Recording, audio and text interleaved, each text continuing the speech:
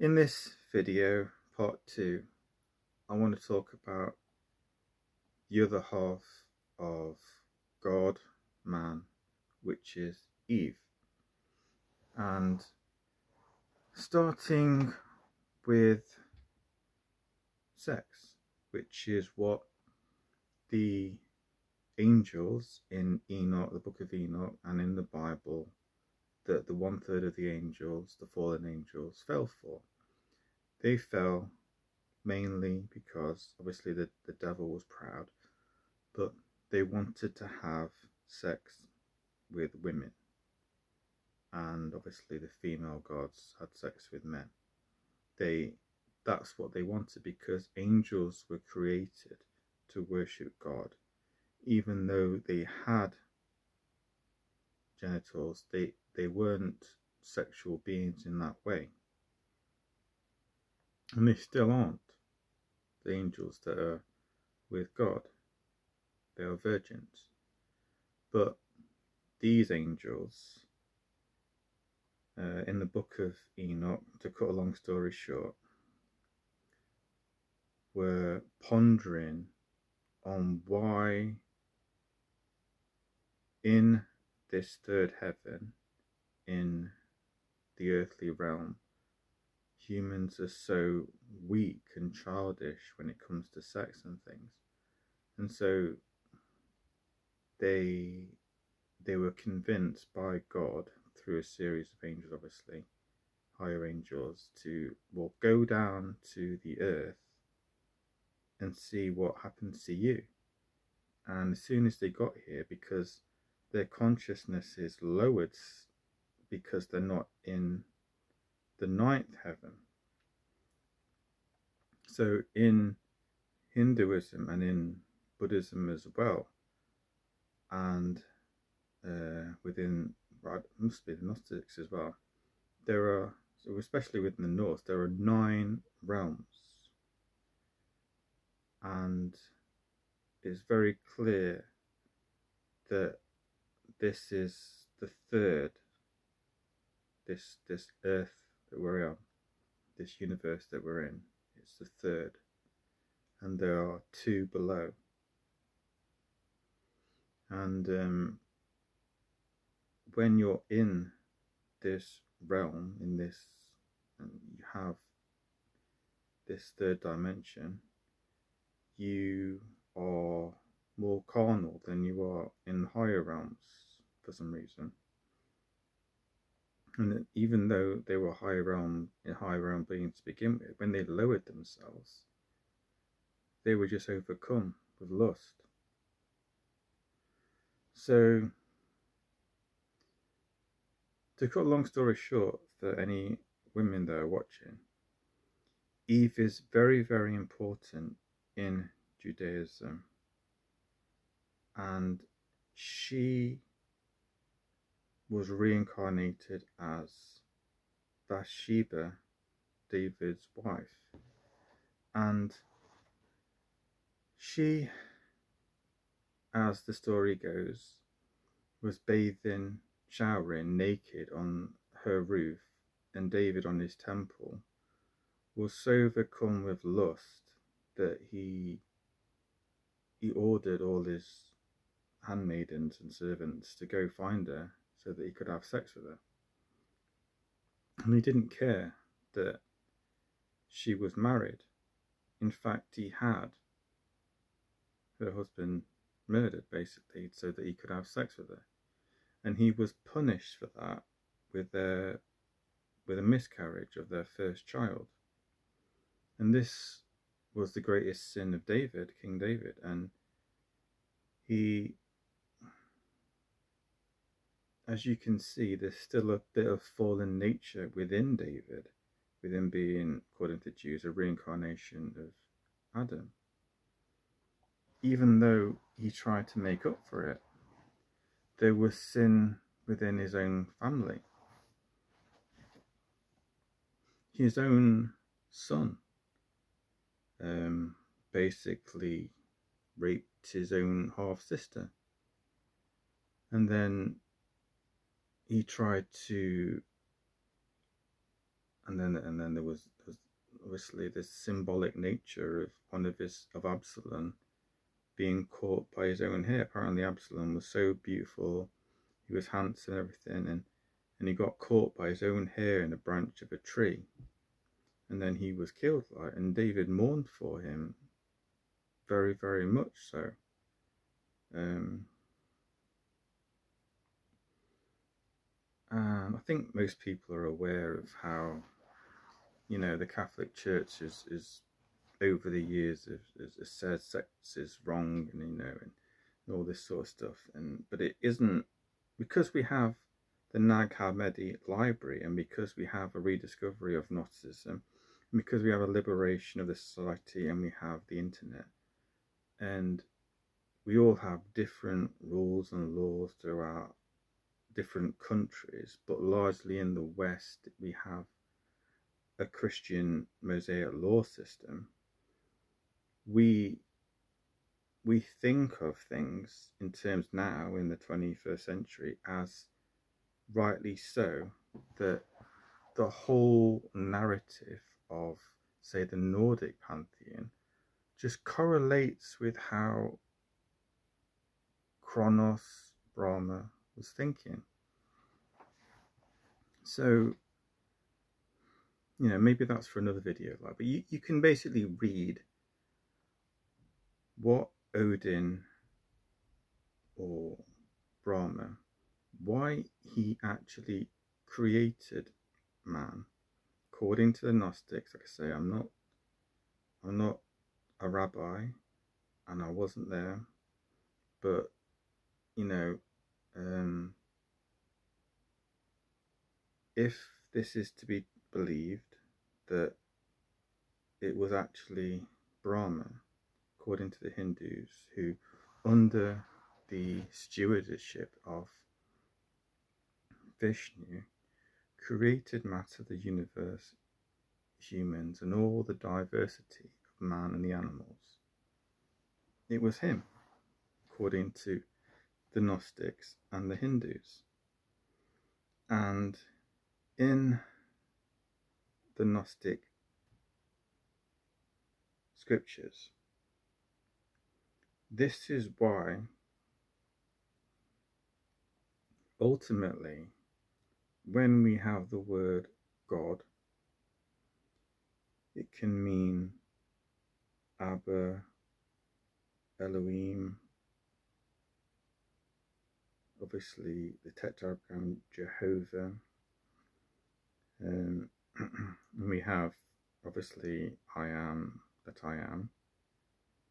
Um, and God identifies himself clearly as in the Christian uh, religion as, as Jesus, right? Jesus is God. So but we know that no one's actually seen his face other than truly Jesus. Uh, some of the prophets were raptured, but we know that, you know, even the angels, that there's only a small amount of angels, if any, who truly see him. It's uh, so do we truly know without Jesus coming back? I don't think we do. Uh, unless obviously there's there's 22 kilometers of books that Vatican have, right? So they have books from even from the Great Library of Alexandria.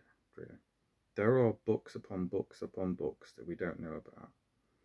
the ones that we do, and in, like in the Nordic pantheon, Odin was Kronos, and he he had he was walking in a garden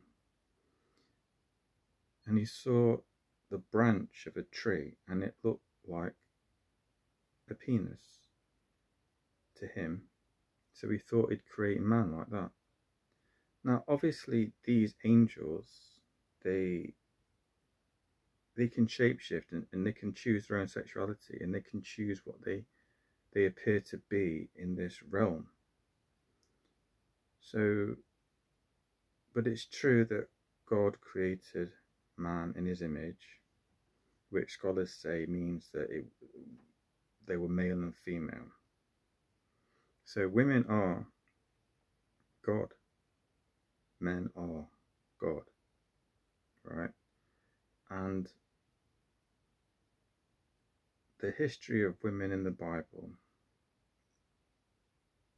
is known to the Jews, and it was largely the Christians that zealously persecuted them. Now, obviously, there were things that ancient Jews did that modern day Jews don't do. Um, and they sinned a lot. But women were so important to David's story.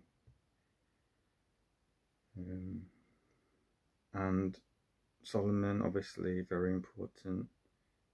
Um, and then the Jews had queens, you know, it was Ruth and leaders who were queens and powerful women in the church. Uh, obviously, Jesus appeared to women when he was resurrected. He loved Mary Magdalene. He loved his, in, in, you know, in chosen his Emma, his mum, Mary, obviously. And um, there are apocryphal gospels that we don't know are canonical. We we don't say they are. I'm going to say we. I mean scholars and but there is a Gospel of Mary, um, and you can read it. There's a Gospel of Joseph, um, Jesus' father. There are these midrashes where Jews have filled in the blanks through prophecy and other means to understand the Bible. And then we have Maimonides, Moses, his name was. And one has to just read through his work, which lays out in the masterpiece way just how the Bible is. Um, but of course, the Jews of modern day don't believe in Jesus. And just by using perfect symmetry and the laws of the tenets that I've given you, you can see that Jesus does in fact work into the equation. It makes perfect sense with him being the literal lamb of Passover. And to give a little bit of history, another bit of history on on Bathsheba. In the West, she's depicted with red hair and fair skin, white skin. And you see this in The Little Mermaid, who's called Ariel. Ariel being the another name for Israel. And you see throughout hundreds and hundreds of films a woman with pale skin and red hair. Hollywood films mainly. And it's symbolic of Bathsheba. The reason being is that she was Eve, and that in Judaism she's represented as the sun, and Adam, or Ben David as well, is represented as the moon. And in Judaism, it was the moon that was created first, right? The, the, it was the night came before the day. Adam came before Eve. Everything is symbolic of this. It, it's so true. And all these ancient goddesses were incredibly powerful. Now, even though they weren't human, um, there were demigods and some of them were demigods. Uh, some of them were actually human. They were personified as goddesses. Um, so the so Gaia, um, if I'm right in thinking, she was the mother or consort of Uranus. So she was Cronus's mother, personification of the earth. But she was, according to the myths, a real goddess. And ironically, symbolically, Adam was created from the earth. So his mother was technically the earth, of which, you know, we get the word earth from Gaia. So many of you are aware of the Sumerian tablets, of which in ancient Sumer they left so many tablets and artifacts behind. And in it is a creation myth where man is created from the earth, a man and a woman.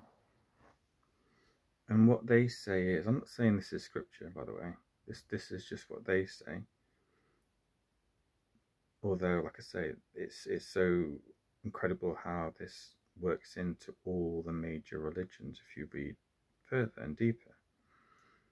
Is that man was created, Homo sapiens, from gods, their DNA, angels, and a lower class of man at the time. So Richard Dawkins says that um, we we didn't just evolve, you know, we didn't just turn from Homo erectus into Homo sapiens, you know, it was a very, very gradual process, you know, um, but there are other classes of humans that have been found, like the Neanderthals, who actually interbred, had sex with Homo sapiens, and they've become us. So to this day, a lot of people who have certain features, like very big, bold, men and women, certain jaw lines, they have the DNA tested, they have more Neanderthal DNA than other people. So we are a mix of these two types of human. And this is the thing, is that we don't have Jesus here right with us now. He will be here soon. And he obviously will explain this to us. And it's largely been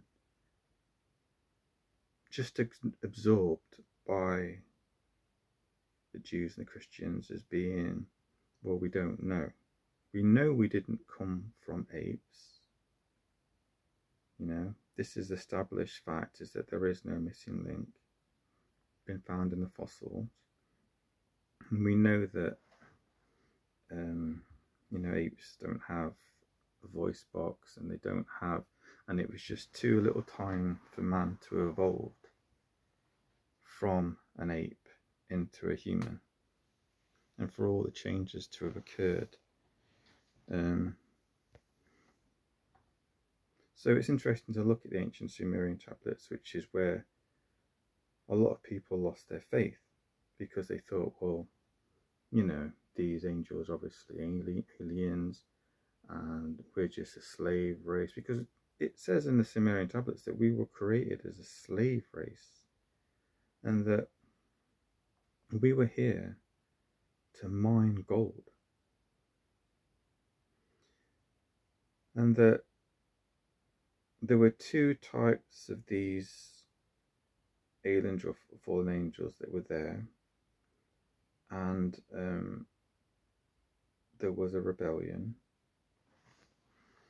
and this is where we get stories of some angels who felt sorry for us and helped us, and some that didn't. Now, in the book of Enoch, which is not in most people's Bibles, but this is something that is very, very important and it lines up with the Bible completely. Many people use that as a real book to be trusted as is very much verbatim. You can believe what's happening in the book of Enoch because it talks about the angels and their whole psychology of why they did it. Um, even if it's not scripture, if it's not true, we have a lot of insight to be learnt from it. So, um,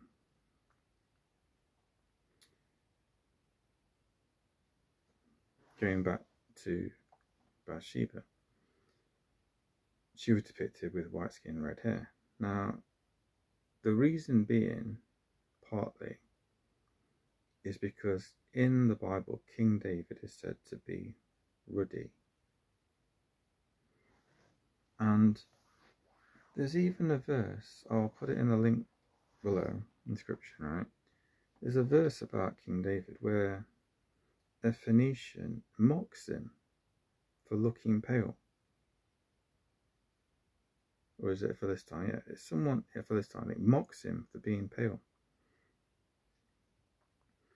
Um, and so the scholars have read deeper into the ethnicity of some of the prophets and we can see clearly through their research although obviously we don't know for sure that David King David might have actually had some Celtic ancestry and Druid ancestry. Excuse me. Now, it seems preposterous to someone from Israel or um, was a scholar to kind of like state what an ethnicity, what a person's skin colour would be, because we just don't know, right? We weren't there. There are reliefs and, and paintings of David going back, obviously, thousands of years with him having brown skin. Um, but there is in the Bible this this allusion, a reference to it, and I I I I witnessed watched a video about druids. And believe it or not, there are a number of different references to Celtic or Druid type beliefs within David's family. So in in that religion, within the type of paganism basically, there was um, obviously now I'm not saying David wasn't a Jew, obviously was a Jew and believed in God and everything, but I'm just saying like what what are these other scholars saying? So they would behead their enemies. They would parade naked in the street after battle. That's what King David did. They uh, had an incredible love for bards, poets that they called, and they could stop wars, and they were actually lovers and fighters and writers, just like King David. They were musicians, they played musical instruments in battle. Um, and there's just a lot of things that line up within Druid culture that make them incredible fighters. So, Celtic women who were in Germany, ancient Germany, Saxony, they they were so fierce, feared by the Romans because they would boil the Romans to death and eat them. Uh, that's how Celtic women were. very, very strong, powerful warriors. And obviously, we know about Boudica being a very powerful warrior queen from Britain. And we know that Ephraim, Great Britain, is linked to King David. We know this. We know this because of the myths of the ten lost tribes coming to the west and specifically David's King David's daughter Tamar, who is known as Tir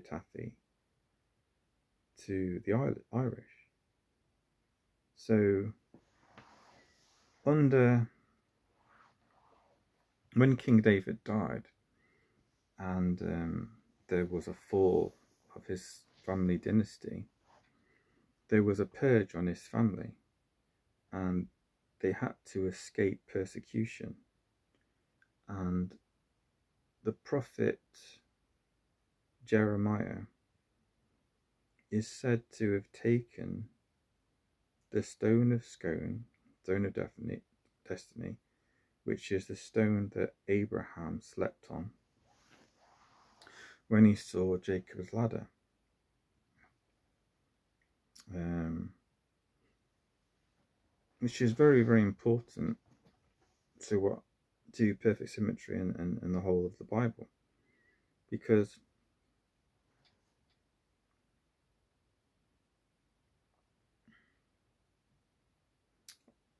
I don't plan these videos, as you can tell. I'm just doing this as a stream of consciousness because it because I don't like to write things down and do them right.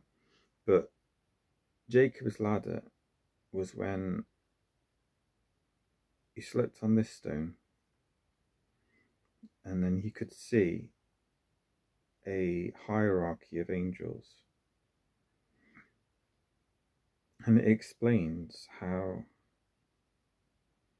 God doesn't actually say, you know, do this, do that kind of thing.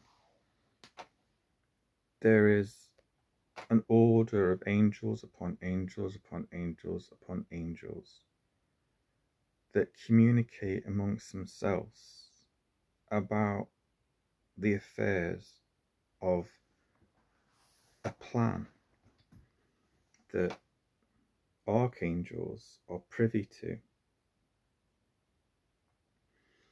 And even the archangel Michael is said to be in some parts of Christianity and even in some parts of Judaism as the forerunner to Adam. Now, you see this in Hollywood films, like there's a film with um, John Travolta about Michael, and he comes to Earth, and you know, and he's he's lazy and he's drunkard, and you know he, he's womanized and everything, and it it just goes to show that even Michael would who would come to this earthly realm willingly, as it seems according to the scriptures the scriptures he would he would do that willingly to incarnate as a human. I'm not too familiar with all the ins and outs of that. Um, obviously, you know, there's Jehovah Witnesses, which I don't adhere to, that believe that Jesus was Michael. I don't believe that at all. Um, I think it makes sense there is some sort of connection to Adam and some sort of angel. Um, because it's in Isaiah. So the suffering servant is called all sorts of things in Isaiah, this Messiah. At some point, at one point, it's called the Prince of Peace, and that's a specific reference to Michael um, a lot of the time he's called the Prince of Peace. And there's just a number of different things. He's called a, and then he's called a servant. Well, lots of people are called servants in the Bible. It's actually a term of affection. Um, not necessarily that he has to do everything that God tells him to do. Because in Ezekiel, the Messiah is said to be hidden in God's quiver, which is an arrow sack. And he's said to be an arrow. The reason being that he's a, what scholars say, is that he's a, a military leader, so he's a weapon of war. But God winnows him down, chips him down, like, because he sins, than David does. And he's, he's allowed to be rectified by God and man. And this is why we know it's not Jesus. Obviously, Jesus is perfect, he never sinned. And Jesus, yes, many Christians will be watching these videos. Um, there's not a lot of views on the first video, and it's because a lot of Christians will just watch the first five minutes and think, no, I don't believe in this, don't believe in paganism, don't believe in all this reincarnation stuff, don't never read Maimonides, don't understand how the scriptures say specifically comes from Judah. Jesus comes from Judah. That's very, very clear. It's clear that he's born in Bethlehem. It's clear that he comes riding on a donkey.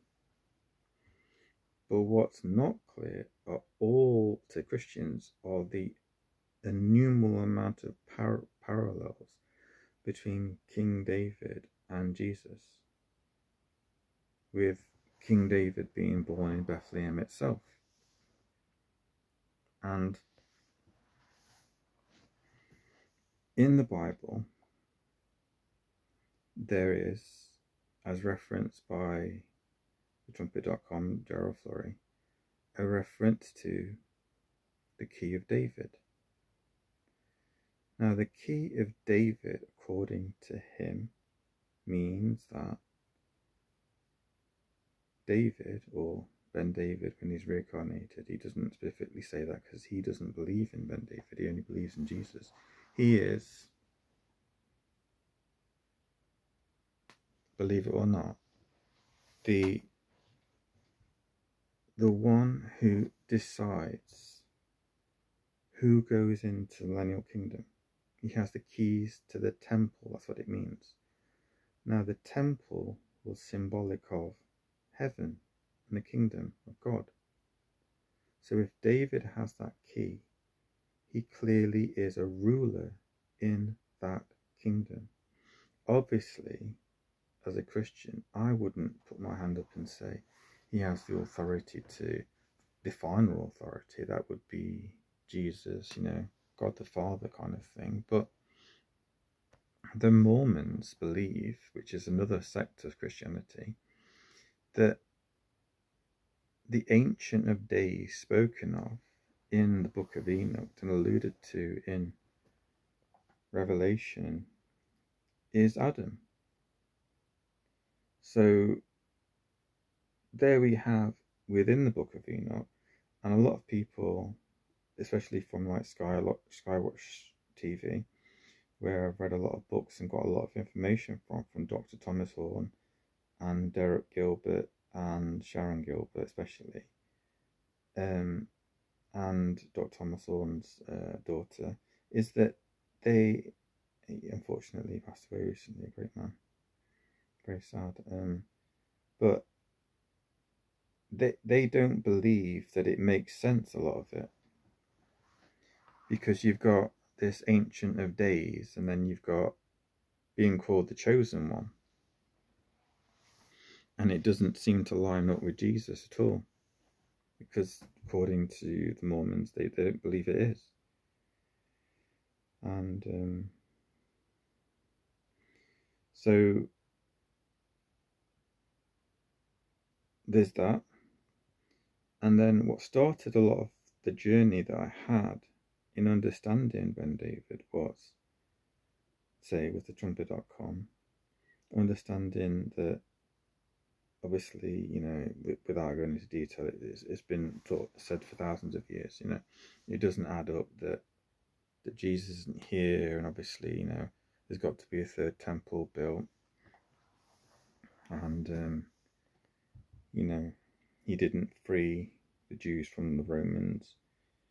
Um, you know, they got persecuted. The temple was destroyed. Said a rebuild, and the reason being is obviously is that the Christians say that they had to create Ben David and Ben Jervis to make up for the fact that they didn't understand that Jesus just comes back and fulfills all these things.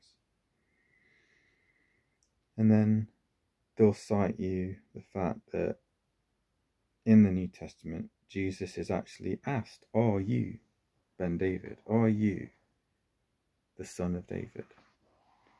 And what Christians will say is that Jesus says,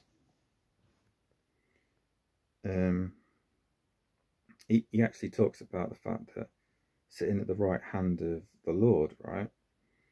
Now, in your Bible, what you'll find in, in, in Matthew when it says that, when he's Are you the son of David? And it's quite ambiguous, but the Christians will say, No, he's kind of like saying he is, kind of thing. He is, he is actually the Messiah, as it were is that there's a lower case Lord and a lower case Lord. So if you go to Psalm, forgive me, because it's in the footnotes, right? If you look at Matthew, I think it's Psalm 110. This is a psalm of David talking about the Messiah. And it it says that it uses the Lord, Lord being King, Messiah, right? So when it's obviously when it's Jehovah, it's it's all capitals, right? And when it's L, capital L and Lord, that's Jesus, according to the Christians. So it's capitalized in that psalm. So it's like the Lord Jehovah, and then it's Jesus, and then you've got David, all in that psalm. And it speaks of how this person, this Ben David, is exactly as the Jews say.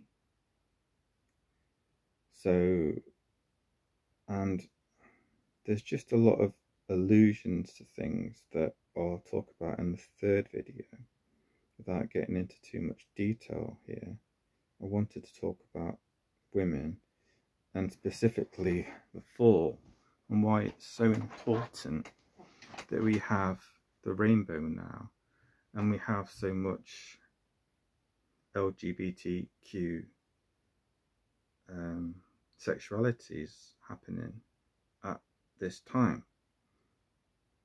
So, you know, I'm a straight man, I'm a Christian. Um, I've been married, I've had a wife, I got divorced. Um, I want to get married again and have children. But obviously, in the West, there are countless amounts of people who are have a different sexuality to me. And within Gen Z, there is a very, very high percentage of people that are now what they would call in that category. Now, this is all explained by Jonathan Cahn in that partly in that from the very beginning, like the rainbow flag is about Venus. Venus being also a god of the rainbow, and she had, um, she being a goddess of love. To most people in the West, we, just think of her as a you know, a myth, a, a, a goddess of love, you know, a very, very beautiful thing. But in reality, if you read about her, she was a warrior queen. Um, she had real transgender um, servants, a manservant, and, and people that were transgender. There were there were real operations that happened in ancient times to have that done, and that um, she she was there uh, in the image of Baphomet, which is a combination, according to um, scholars, excuse me, of Pan with the, with the goat's horns and and Venus because they actually had a union. They were, you know, scholars say consorts. They were basically lovers. So Pan was a lover of Venus, even though Venus had many different lovers, and they had a union together. Um, and Pan obviously is where we get the word pansexual.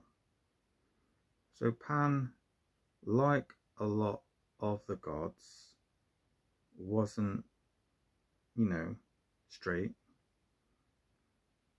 They they were all fluid, near enough all of them, the fallen ones, and they they were incestuous and and, and all sorts of manner of things, which is why the Romans and the Greeks had such a pagan way of seeing things in terms of sex. So her job, according to Jonathan Cahn, was actually to corrupt the marriage between a man and a woman. Now, with me being more liberal, uh, coming from England, seeing all these changes, Jonathan Cahn's American, I can see that God has allowed the pagan world again to come into being, which is what the Bible says is that the days of Lot and Sodom and Gomorrah are allowed to return.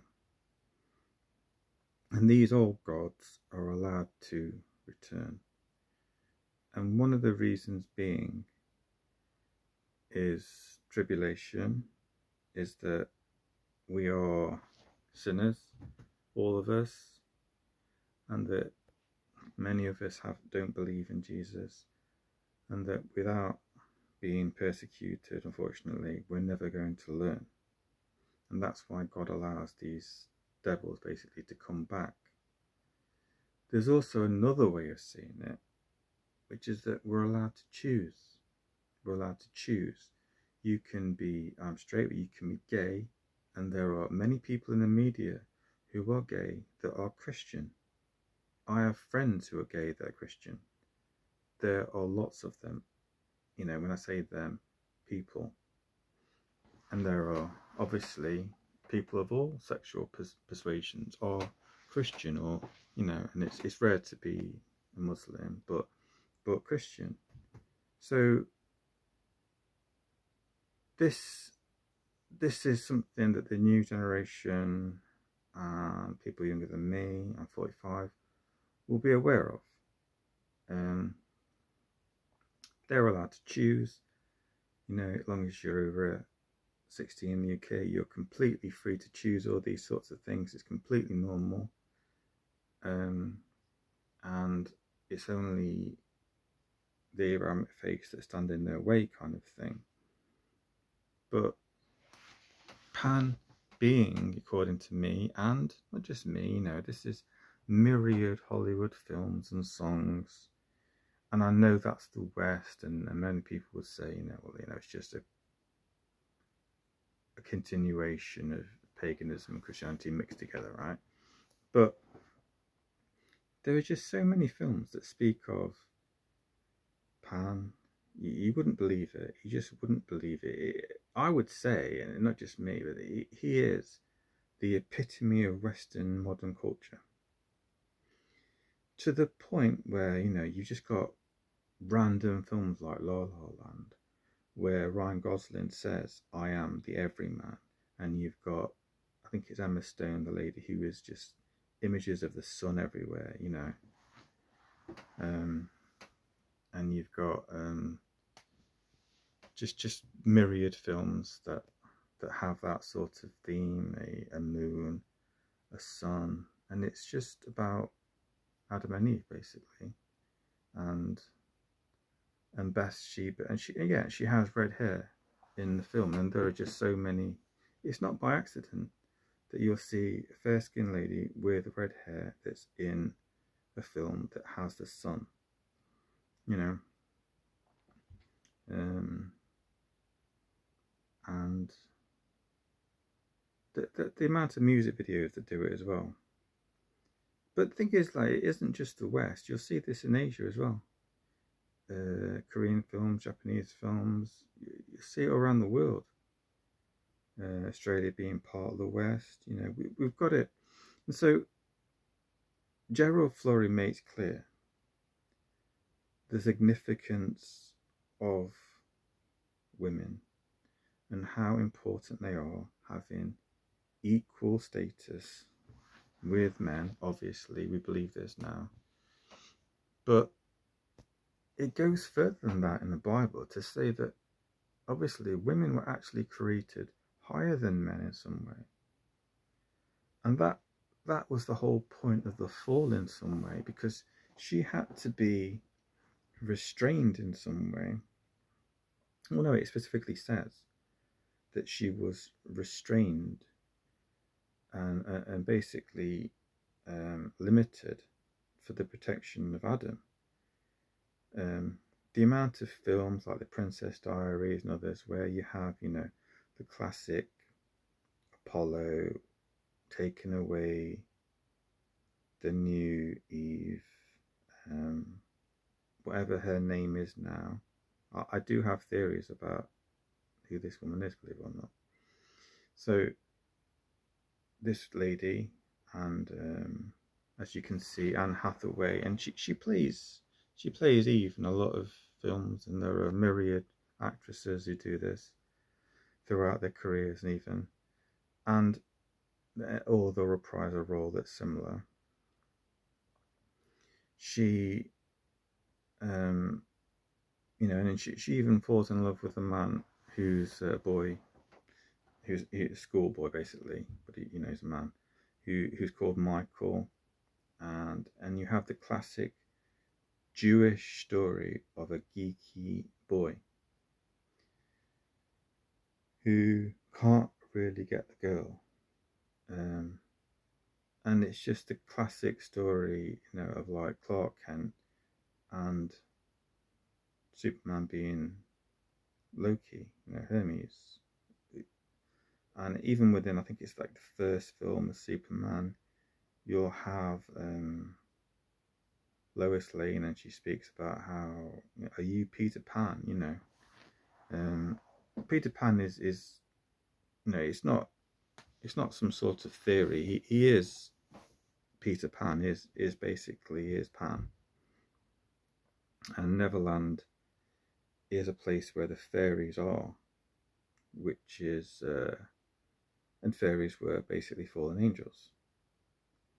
Um, they, and he, he couldn't grow up. He wouldn't grow up. You know, this is the story of Loki in in the mythology. Is that he was a trickster god, childish, and that he, and then within many many songs, like for instance, uh, I, do, I believe Blur's The narcissist is about Loki you have him called the Pierrot, and the Pierrot is a is a clown,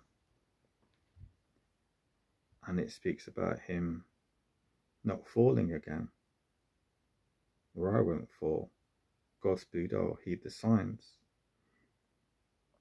And the greatest, greatest allegory I've ever seen, apart from Harry Potter and Star Wars, The Matrix, is a life on Mars and the sequel Ashes to Ashes. Oh my word. The, the people who produced this, of which one of them was a Doctor Who producer, right? It's so unbelievably supernatural and spooky, it's unreal. You know, you have so many references to the whole, like I say, the whole of Western culture broken down in these episodes by the BBC. And you even have, um, I forgot his name, like, but the person who plays uh, the man in, in Life on Mars, and he even, plays the Master in, in in Doctor Who. And you have to watch it. You have to watch it, you know, because it.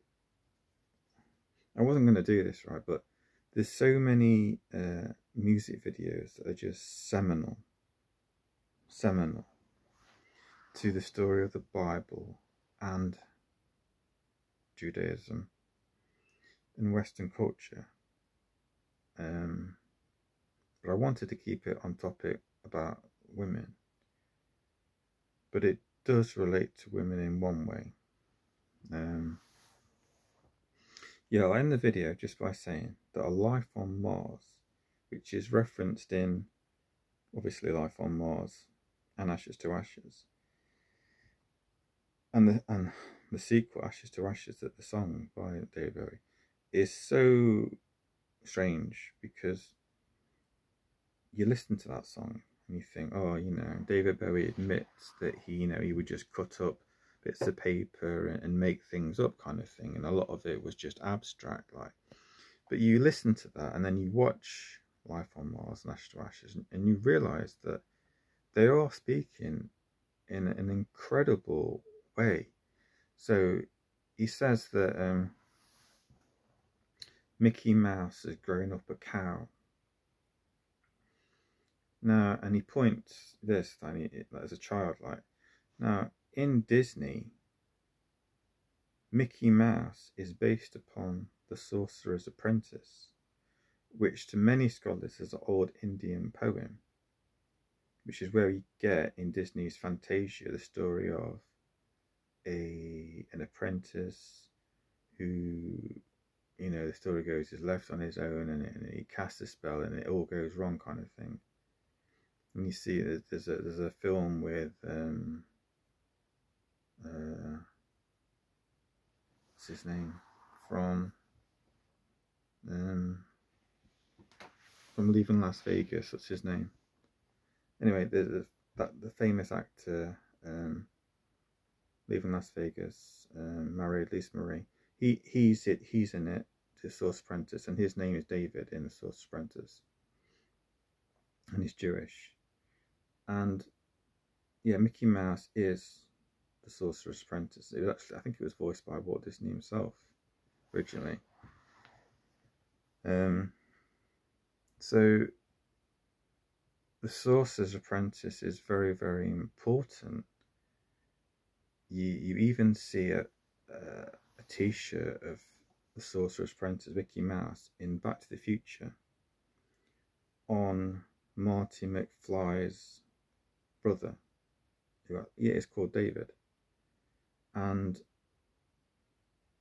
the whole of Back to the Future, obviously written by uh, Zemeckis, a Jewish man, and, and directed, partly directed, is it?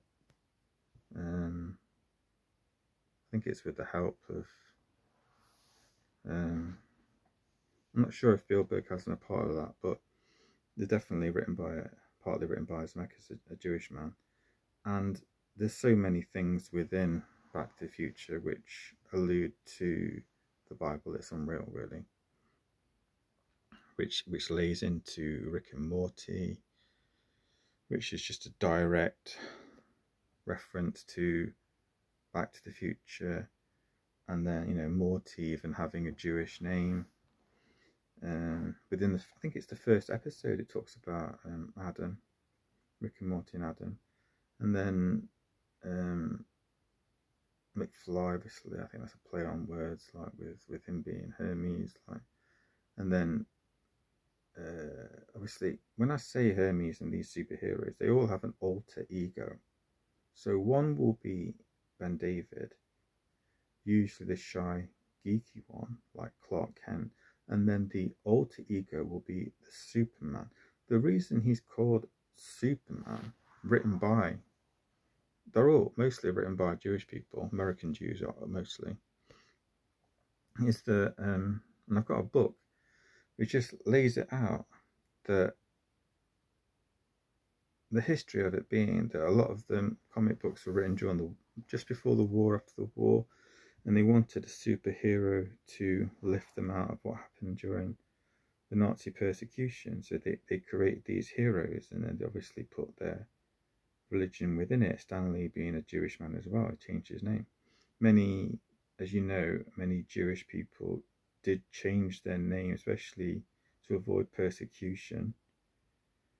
Um, such as I think I don't know if Bill Gates did change his name because of persecution, but Bill Gates is a Jewish man and and um, he does have a different name. Many Jewish people have got different names. So the fact is, is that it, it's right there in the early comic books Genesis is that you'll have so many allusions to it. You know, um, Incredible Hulk being a a golem which was a uh, superhero that the Jews had, uh, supposedly that they could create a inanimate object like a wooden carving, and then they could cast a spell. Uh, I'm not saying a spell, like a prayer, and then it would come to life. I'm not saying this is real. This this is just what there are reports of. I think it's during the Middle Ages even. Um, and this is obviously where you get Gollum in The Lord of the Rings, which fits nicely into the fact that all these heroes have a leading lady, heroic lady, a woman, who is a lot of the time more powerful than him. So in Star Wars, Rey is more powerful than Kylo Ren. It was an obvious take of um, a fallen Adam and a type of Ben David. And then we have it, you know, say within Batman being the superhero justice person, a Ben David, and then Joker being Loki. And these aren't my assertions, these are literal that the writers saying it or, or these actors playing these similar roles, you know like Jack Nicholson in The Shining, playing another type of person, literally called Jack again. And then we have um, just the amount of writers that are Jewish. Uh, I'm not sure if Stephen King is, I think he might be, who wrote The Shining. Um, and obviously, with Judaism being um, having different parts, hierarchies to their faith with rabbis knowing an incredible amount and that the ordinary people wouldn't know specifically about their own faith, um, it's inevitable that there are people that go into Hollywood or into science fiction and simply uh, put in their religion and they just don't even disguise it, to be honest with you. I mean, George Lucas is a Jewish person, and he doesn't disguise it. And some of them are actually secular Jews. Obviously, it's a massive community, Jewish people, and they're not all related to Israel in their in their allegiances and things. And there's just myriad different types of people who are Jewish, right? And some of them are secular Jews, and, they, and they, they've simply made a made a living out of putting this hero into it, and then incorporating the pagan world. Um, now, um, J.K. Rowling is a Christian. Uh, says it quite candidly. Um, but what what's remarkable you know, so of all the female characters that I can see that are in these films, a lot of them, one of them that you won't be aware of is related to Pan is Echo. Echo was a nymph, and a nymph was a it's, not nice to say like, but there were hierarchies of angels, as you know, and a nymph was a lower angel, as it were, of uh, forests, and that this is where Pan would famously chase these nymphs throughout Arcadia, and they would, you know, it's where we get the word nymphomaniac, and, and, and they would be naked a lot of the time, kind of thing. And Pan, Pan would try to have sex with these nymphs, and a lot of the nymphs would push him away to the point where one of them was so offended by him that uh, she, you know, the father like helped change into a tree. And then he, he got upset and then he created the pan pirates from like reeds that, that he found. Um, and this is why he, he became a musician and it helped him to, for want of a better word, get women. Now, it sounds incredible to say, but it's all there in the story. It's like, and then he, yeah, ironically, got the most beautiful woman of of those supposed times, Venus. Um, and and he and he also had a, Echo as a lover, and Disney Plus has got Echo again as a superhero. And even though they were lovers in ancient times, uh, and they had a child, Iam, which is where we get Iam pentameter from. In Star Wars, I wasn't going to talk about this too much, right? But there there are many many allusions to women obviously uh, princess leia and Rey um, which is not Kylo Ren's lover they do love each other excuse me but they're not meant to be lovers you know they never actually have sex in the film and they do kiss at the end. But they they basically sacrifice themselves for each other to fight the dark side.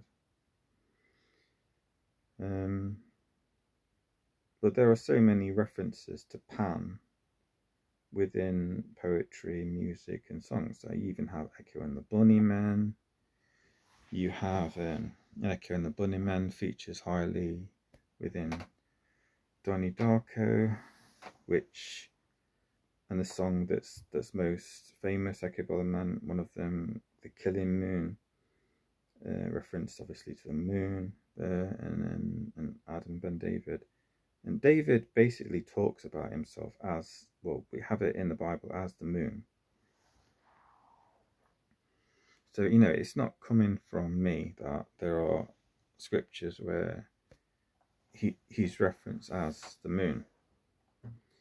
Um, the moon and the sun uh, and Eve, I believe these things are talked about in the Talmud. There are Jewish encyclopedias that I have that speak of the inner context.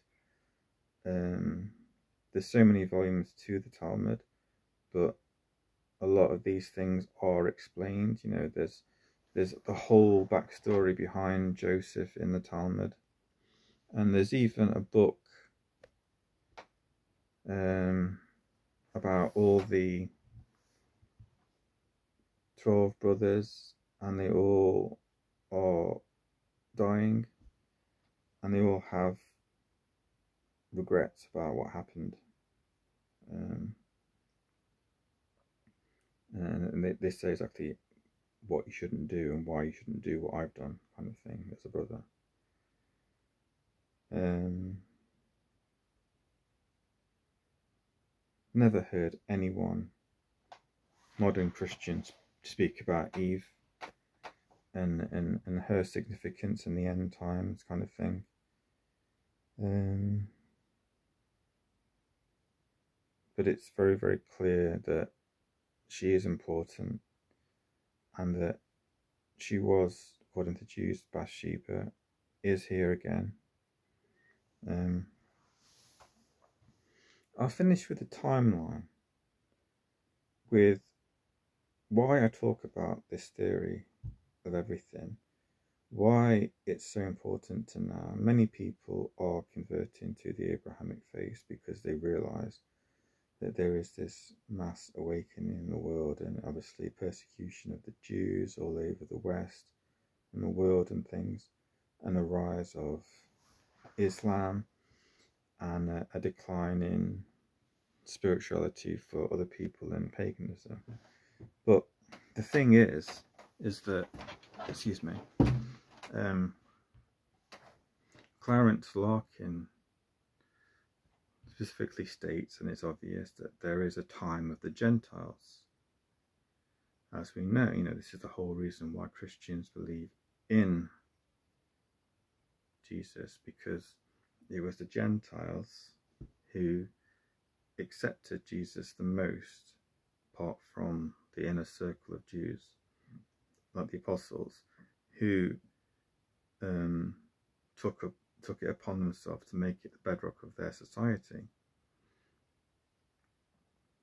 of which America and Great Britain were one of the highest. Obviously, there's Rome, and then the the timeline that I have that seems to be very, very true and specific is that Jesus died in 31 AD and that there is, he said he would come back in 2000 years. And that obviously takes us up to 2031 with there being a seven year tribulation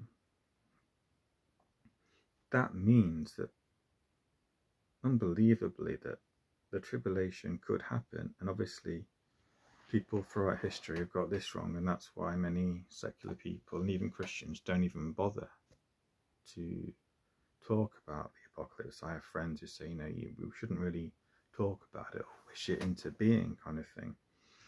That the antichrist will be here by 2025 now I don't want to talk too much about him and what's going on, other than obviously you can read it within um, Revelation that he is Apollo, Apollyon, riding on a white horse. I'll get banned if I talk too much about what's happening in that sort of thing. And I just want to talk about it in terms of the goodness, as Jonathan Cahn says, because the truth is all that matters.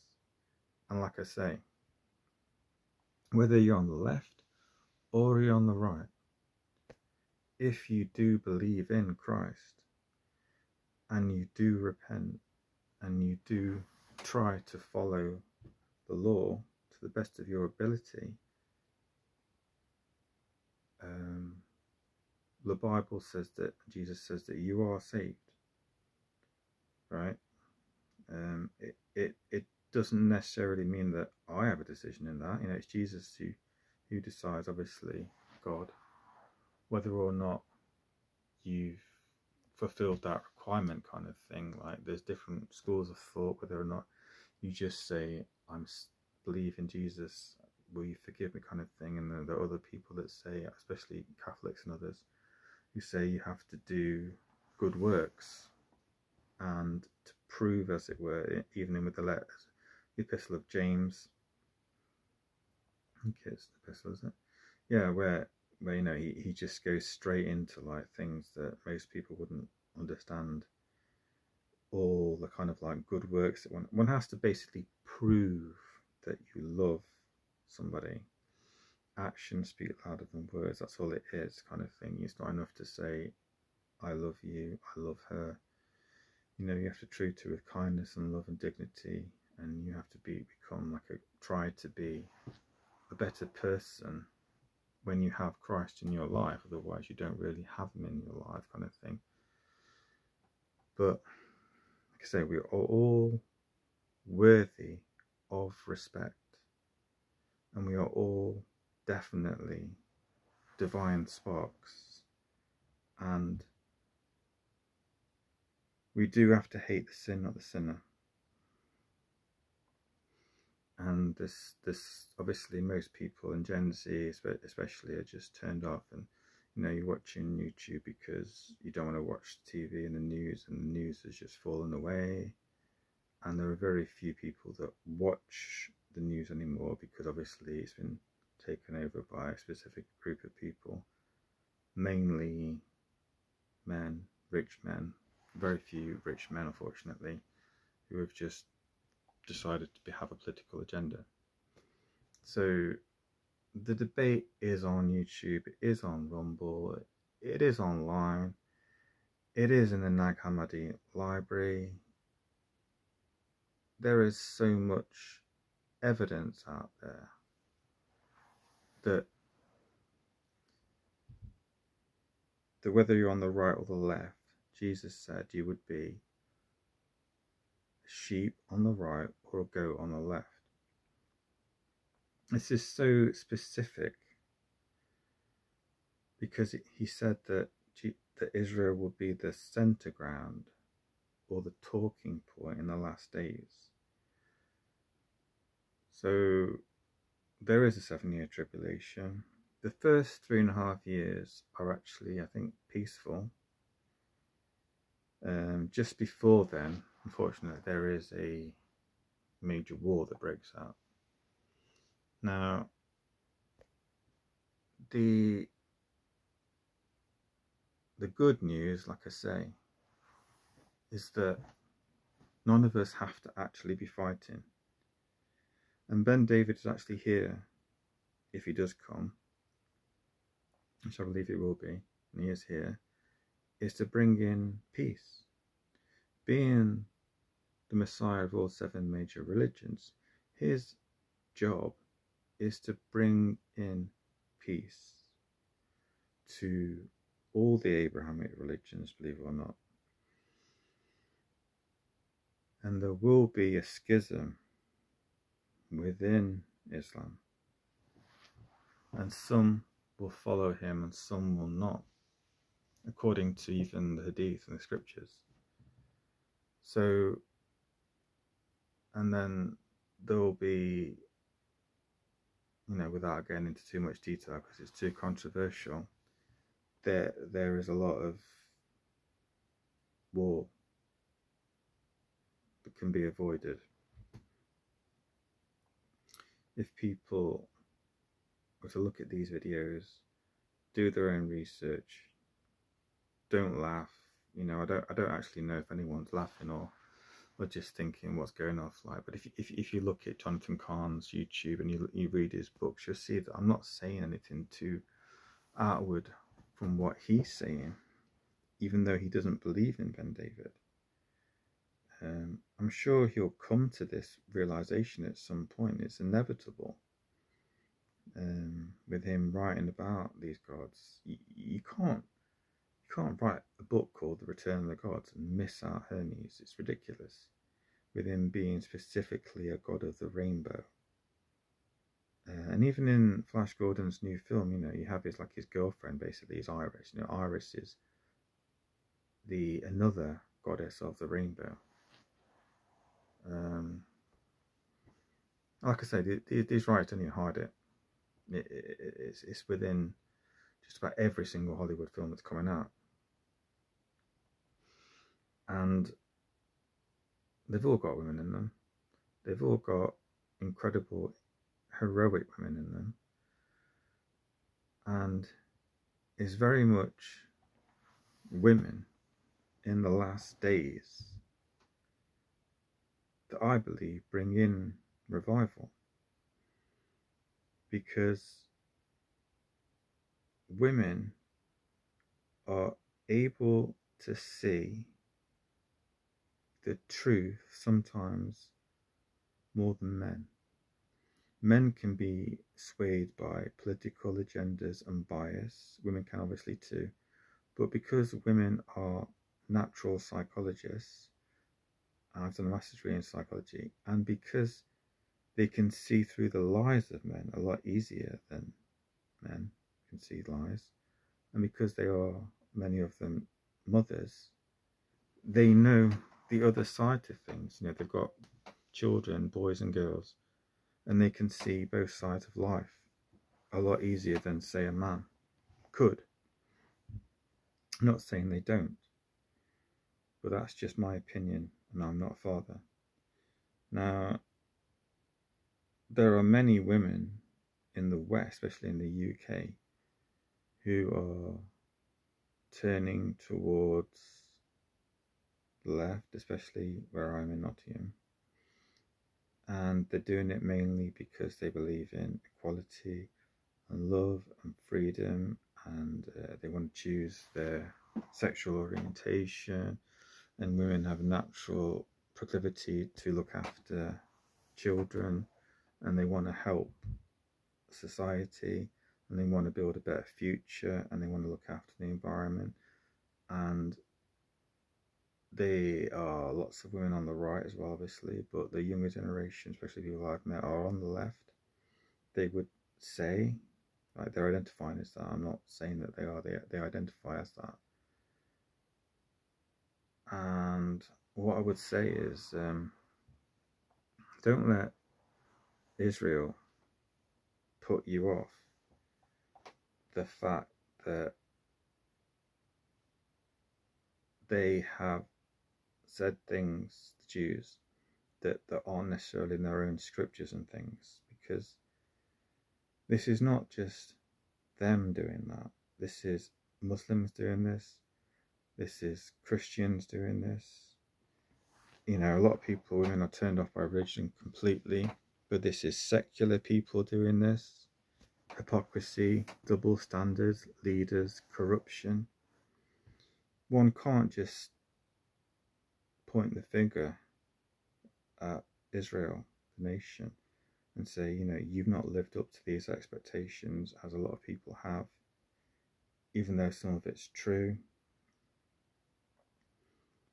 Because the Bible is very specific um, that we're all going to go through tribulation apart from those who are raptured and we don't know when the rapture is and some people don't even believe the rapture is going to happen. So, you know, in the West, especially in, the UK, we're taught at university not to definitely judge um, from what we've just read in the previous past. Excuse me, and that is that is why um, it's unfortunate to see universities be hijacked by political agendas, whether it be on the right or the left, because I was always taught that if you don't look at all the different sorts of opinions and you don't let money corrupt you or um, the zeitgeist of that day, which are specifically funded by a lot of men, basically. Like, you know, straight out of the bat, it's money doing this. Um, you know, political parties and, and people and agendas and stuff and governments being bought out, basically. And, um, and people selling out. If you really are free thinking and liberal, and you really do want to understand what's happening, you need to definitely, definitely, definitely take these videos seriously. Um, I do have a master's degree in psychology. I have studied the Bible since I was basically 16 and I am 45. So, and I've watched thousands and thousands of movies. I've read about the Roman pantheon, history, I've read about the Greeks. I've read about Hinduism, all the seven major religions. I haven't extensively researched um, the Baha'i faith and um, some of the others, um, but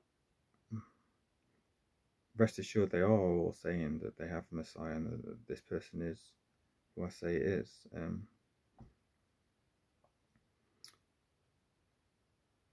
So in The Hollow on Netflix, there's a cartoon, and um, the person that's the protagonist is called Adam, a specific, you know. Ben David is often called Adam in these films or cartoons. It is his name in, in, in Jewish scholars' books. They will call him Adam sometimes. Even called Israel sometimes as well, which is, is what a lot of, I think Rabbi Tovia Singer says that, um, you know, this suffering servant is Israel because we see that in one of the verses in Isaiah it says Israel. But Israel is another name for Ben David as well. And he's called a ensign within Isaiah. It's Isaiah 59, where it's, and then he, which the Benson commentary and other commentaries say is a standard or a flag. So Ben David is actually just at the beginning and, and within his life, even though he, he does do miraculous things, he, he's kind of, with him being hidden until it revealed, until he's revealed kind of thing. And I don't even know if he's fully, ever fully revealed until the Millennial Kingdom. Um, Ben Joseph is the main person that does all the political will of God. Um, who, I, who I have said in the scripture, the first one is, to my understanding, ex-president Trump. And him being symbolic of the baker in the Joseph story and Ben David being the cupbearer. So Ben David being bread, sinful, unbelievably so, as people have noted, um, part of man, Christ. Even though Christ was perfect, he, he took on our sins, and part of the flesh was, was sinful, but the blood was pure, no sin, but still both of them are sacrifices. The the bread and the flesh and the, and the blood. Um, I don't want to talk too much about that. Like I say, it's um, it's an ongoing political upheaval in America right now, and obviously I could be wrong. So I don't want to paint judgments upon people by naming them like that in case it's wrong and there are consequences to that. But all we can do is use our scholarly research and our faith to guide us.